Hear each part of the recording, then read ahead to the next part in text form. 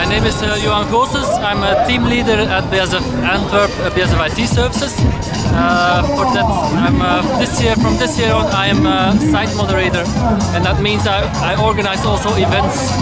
And um, 10 years ago, it was the first time I uh, joined the Hercules Trophy, and now 10 years later, I organize it myself for uh, four wonderful teams of BASF IT Services.